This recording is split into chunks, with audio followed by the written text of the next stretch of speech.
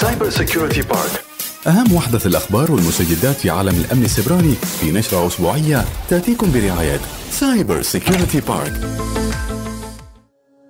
أكد باحثو الأمن السيبراني في Deep Instinct مؤخرا أن المخترقين استطاعوا استغلال Windows Container Isolation Framework لتجاوز الدفاعات الأمنية للمؤسسات.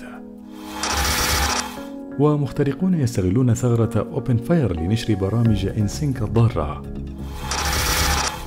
وتم اكتشاف هجوم malicious document in PDF جديد في يوليو 2023 والذي يتجاوز الكشف بتضمين ملفات Word ضارة في ملفات PDF.